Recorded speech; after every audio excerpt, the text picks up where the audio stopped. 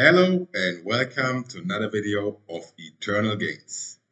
This is the channel where I show you how to make the most out of your capital and grow your stack in the most efficient and most safe way. We are not a gambling channel here, so if you want to make money in the long run, you're on the right place here. Let's get started. Today I want to talk to you about how to survive microcaps. This is basically in addition to the uh, to the DeFi psychology video what I released. I will put a link up in the description as well to this video. Go and check it out. Um, so microcaps are uh, coins which have a pretty low market cap. As you can see here, market cap is estimated to 6.1 million. 6.1 million is not a big market cap. If we come over here to coin market cap, and we look for the list sorted by market cap, then you will see like 6 million is pretty much nothing. You have 6 billion here, right? So even if you go to the to the bottom of top 100, we are talking 1 billion. So 6 million is tiny, tiny, tiny, tiny, right? Okay, what we gonna do? I was mentioning this uh, coin Chrome, Chromatic Finance already in a in a previous video in a gem hunt. And I want to talk to you now what to do if you are in this situation right now. Let's assume you bought somewhere here or you bought here. And today you check your portfolio, check the coin and see, oh my goodness, this coin is garbage, you're thinking, right? Oh, minus 63%. Okay, to be fair, with microcaps, many of them are garbage. So it can definitely happen this, this thing just goes down forever and basically fades fades out to eternity and never comes back up again. So how to play these coins? In case you didn't sell yet and you're looking at a loss like plus 50%, then you have to do some digging before you make a decision. And this is exactly what I said in the other video. Smart money, as a smart trader, you need a plan. Okay, let's say you missed to exit for whatever reason. You're in still, okay, and you lost your your your coin, the value lost like 50%, 60%, whatever. Right? 61% here.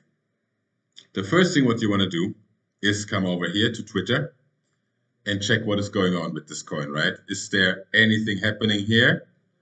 Now you can see Chrome, Chromatic Finance. This is the, the developers which bring it out.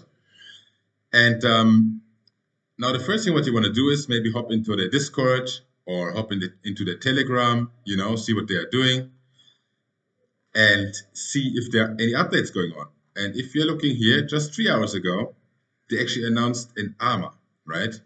They announced um, like an event where you can ask them questions about this project, how it's going. So this is already a good sign. The price of the token is massively down, but they are still active, right? They keep tweeting, they keep announcing stuff. You know, seven hours ago they speak about the roadmap.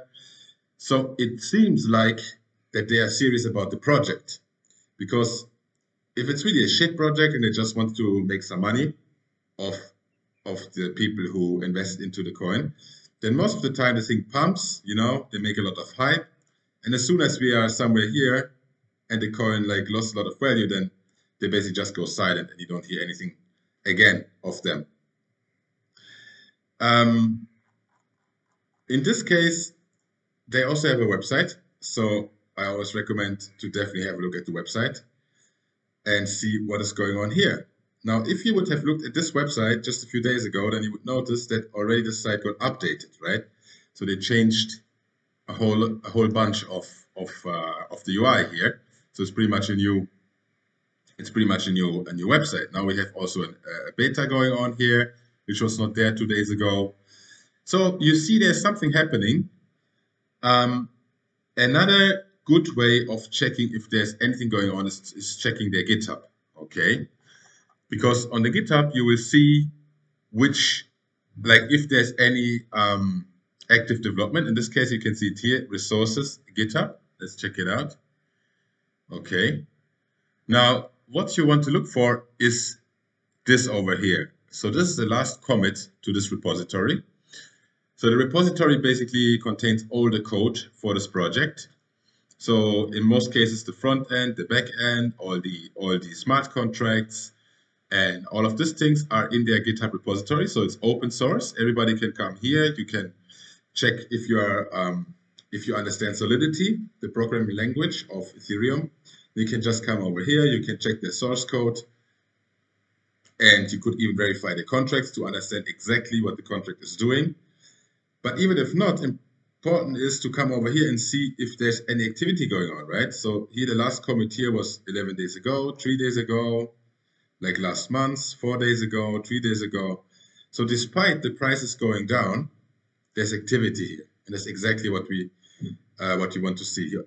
Here you always see the last commit, but just important is to see that there's activity going on despite the prices uh, going down, right? You can come over here to insights. You see like what exactly they did in the last time, what was changed and so on. Okay, so that's a good sign. Uh, Twitter is active, the GitHub is active, the website changed within a few days, so they're working on that as well, right? So now what to do? The next step would be instead of selling, what maybe like intuitively many people think like, oh my goodness, you know, it pumped, it pumped again, this thing will never come up again. This has a very low market cap. They're actively working on stuff in the background. The idea behind this project has huge potential. So what I'm doing in this case, I'm buying, right? That's the key, guys. Buying, not selling.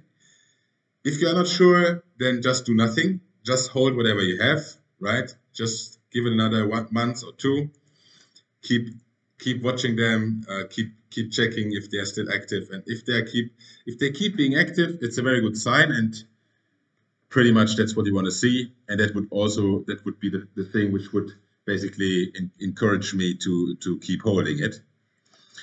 Um, if you are really confident, if you did your research and you you see what I see, then you might consider to buy more here, right?